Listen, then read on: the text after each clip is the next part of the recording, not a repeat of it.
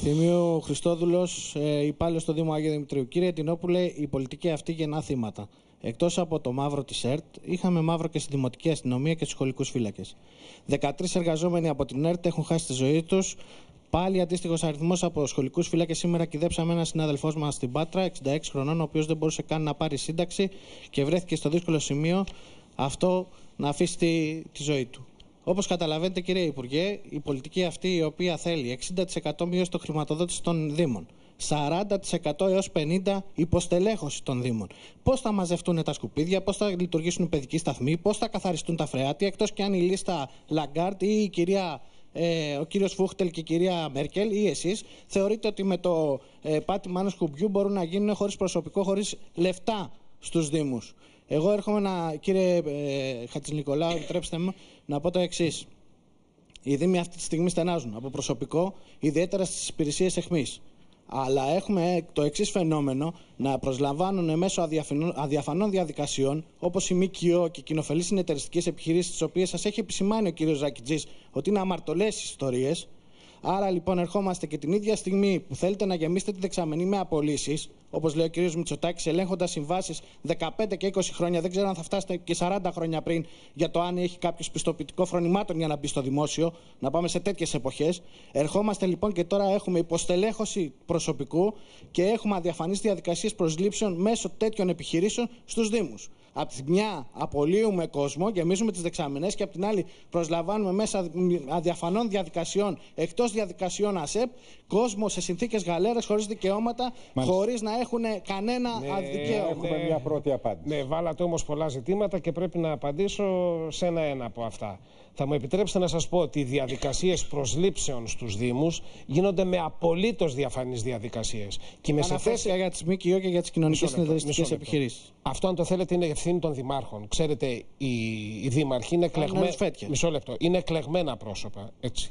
Άρα έχουν και την αντίστοιχη πολιτική ευθύνη. Εγώ δεν ξέρω να υπάρχει σε τέτοιο βαθμό η αδιαφανής διαδικασία την οποία λέτε μέσω ΜΚΟ ή μέσω των συνεταιριστικών κοινοφελών ε, οργανώσεων ή εταιριών τέλος πάντων και θέλω επίσης να σας πληροφορήσω ότι οι επίτροποι του ελεγκτικού συνεδρίου δεν εγκρίνουν τέτοιες δαπάνες. Άρα αυτοί οι οποίοι προσελήφθησαν δεν μπορούν να πληρωθούν. Και είναι αλήθεια ότι μερικοί προσελήφθησαν και προεκλογικά. Σε μεμονωμένες περιπτώσεις όμως. Μην δίνουμε μία εικόνα ότι στην αυτοδίκηση γίνεται, αν το θέλετε, αυτή η μεγάλη παραβίαση των κανόνων. Θα μου επιτρέψετε όμως να πω ότι, ότι έχω εδώ τα στοιχεία ότι στην, ε, στην, ε, στο προσωπικό των ΟΤΑ έτσι, προσλάβαμε 1152 για το 2014 1152 ε, υπαλλήλους με συμβάσεις έργου και ορισμένου χρόνου με απολύτως διαφανείς διαδικασίες και το ξέρετε αυτό όπως επίσης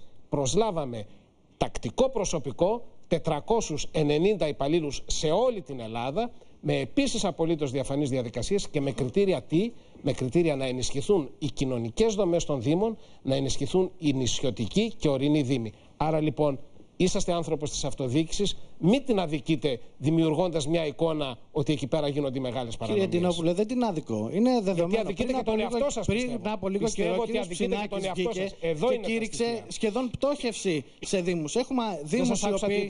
Ο κ. Ψινάκης βγήκε και κήρυξε πτώχευση στο Δήμο του. Αν θέλετε να διαστρεβλώσουμε την αλήθεια στην οποία λέει ότι στενάζουν από προσωπικό οι Δήμοι, ότι είναι υποχρηματοδοτούμενοι κάτω από πάνω από 60% δεν έχουν την ίδια χρηματοδότηση χρηματοδότηση που είχαν πριν από μερικά χρόνια. Ασφαλώς και Εάν αυτό το πράγμα δεν είναι η αλήθεια, τότε εγώ σε να τα βάλουμε χώρα, ένα-ένα. Να τα εγώ βάλουμε... θέλω να πω το εξής. Επιτρέψτε μου. Βεβαίως και σας επιτρέπω. Αυτή γιατί, τη στιγμή, είναι, γιατί είναι ενδιαφέροντα αυτά τα οποία λέτε. Και από το 2010, από την υπογραφή του πρώτου μνημονίου μέχρι το 2016, απαγορεύονται οι προσλήψεις στους Δήμους. Τώρα, πού βλέπετε εσείς ότι έχουν γίνει. Για ποια στελέχη μιλάτε, για αυτά τα οποία παίρνουν οι δήμαρχοι με σύμβαση έργου; Αυτούς οι οποίοι είναι ειδικοί σύμβουλοι. για τις προσλήψεις. Αυτούς μιλάμε. Μιλάμε για τους παιδικούς σταθμούς. Γίνονται προσλήψεις. Γίνονται στις υπηρεσίες αποκομιδής. Και δεν το ξέρω εγώ. Ασφαλώς και Στα αποδοτικά γίνονται προσλήψεις. Ασφαλώς και. έχουν παγώσει μέχρι το 2016, κύριε Αντινόπουλε. Μισό λεπτό. Είναι, είναι πολιτική η οποία γεννά θύματα. Και τα θύματα είναι οι δημότες που δεν μπορούν να πληρώσουν ούτε τα δημοτικά τους τέλη, ούτε οι δήμοι μπορούν να σηκώσουν το βάρος της υποχρηματοδότησης και της υποστελέχωσης. Εάν ναι. αυτά δεν είναι αλήθεια, τότε εγώ σε, ζω σε άλλη χώρα, στη χώρα του success story και το ότι το, το, το, σκίζουμε τα μνημόνια. Τελειώσατε. Τέλειωσε. Προσφα... Προφανώς και ζείτε. Κρατήστε μέχρι να τελειώσει. Προφανώς, προφανώς και ζείτε, όχι σε μια άλλη χώρα, αλλά σε μια άλλη αυτοδιοικητική πραγματικότητα. Γιατί σε αυτά που είπατε, εγώ οφείλω να αντιπαραθέσω τα στοιχεία. Τα στοιχεία σας τα προανέφερα. 1.152 προσλήψεις έκτακτου προσωπικού, 4.500 προσλήψεις Επίσης έκτακτου προσωπικού. Την ίδια ώρα που έχουν αποχωρήσει 12.000 δημοτικοί υπάλληλοι είτε με σύνταξη, είτε με απολύσεις, είτε. Μισό λεπτό, μισό λεπτό. Με εφεδρείες. Να τα λέμε όλα. Μάλιστα. Λοιπόν, επαναλαμβάνω. 1.152 προσλήψεις έργου και ορισμένου χρόνου έκτακτου προσωπικού με διαδικασίες ΑΣΕΠ. 4.500 προσλήψεις επίσης με διαφανείς διαδικασίες χρηματοδοτούμενες από προγράμματα ΕΣΠΑ. Και επειδή μου είπατε για την αποκομιδή των απορριμμάτων, γνωρίζετε πάρα πολύ καλά αφού είσαστε υπάλληλος σε Δήμο ότι οι Δήμοι, επειδή ακριβώς αυτή η υπηρεσία είναι ανταποδοτική, μπορούν από μόνοι τους να προσλαμβάνουν προσωπικό. Και έχουν προσλάβει για το 2014 6.000 άτομα. Άρα λοιπόν μην δίνουμε άλλη εικόνα από αυτή που πραγματικά είναι. Συμφωνώ όμως σε κάτι που είπατε και είναι πάρα πολύ σωστό και νομίζω ότι είναι η ουσία της υπόθεσης. Ότι πράγματι οι πόροι της αυτοδιοίκησης, οι κεντρικοί αυτοτελείς πόροι, αυτά δηλαδή τα λεφτά που δίνει το κράτος, στην ουσία ποιοι; Οι Έλληνες φορολογούμενοι στην αυτοδιοίκηση, αυτοί μειώθηκαν κατά 60 με 65% από το 2010 συγκρινόμενα με το 2014. Εδώ έχετε απόλυτο δίκιο. Είναι το μεγάλο τίμημα που πλήρωσε η αυτοδίκηση αυτά τα τέσσερα δύσκολα χρόνια να τελειώσω.